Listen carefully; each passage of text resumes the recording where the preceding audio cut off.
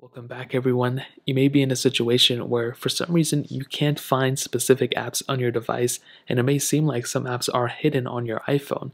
But believe it or not, these apps are probably here. They're probably just nested in a folder, or they're nested, you know, deleted off your device in terms of the home screens, but they're saved in your app library. So ever since iOS 14, we've gotten this app library feature. So if you look for an app, right, and you look for something like Snapchat, right, you may be able to see it here. But when you scroll through your home screens, you just can't find it anywhere. You tap on this screen, you tap on this screen, you just can't find it anywhere. Well, the problem here is that with iOS 14, as I mentioned, we got this new app library feature. So basically, all your apps are stored into here and they can be applicable or they're optional to be stored on your home screens. So they are 100% going to be stored here if they're on your phone, but they're not going to be stored on the home screens, you know, for the most part. So in this case, all you have to do is swipe to the side.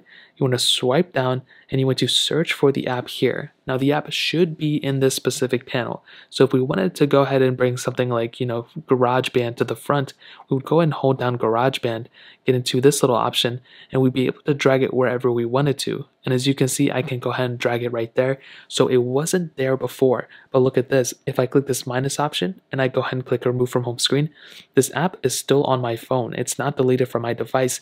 It's just removed from my home screen. So this is exactly where you need to go to find all your hidden iPhone apps. You need to go all the way to the right and scroll through and find the specific app that you're looking for.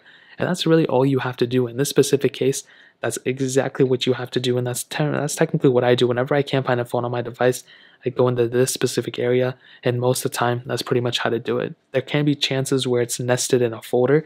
So you may have to go in like a folder to find the specific app. But most of the time, you can find it in this specific area. So that's pretty much it. If you guys have any other questions or anything like that, let me know in the comment section below. Hit the like button, that would mean so much, but definitely hit that subscribe button.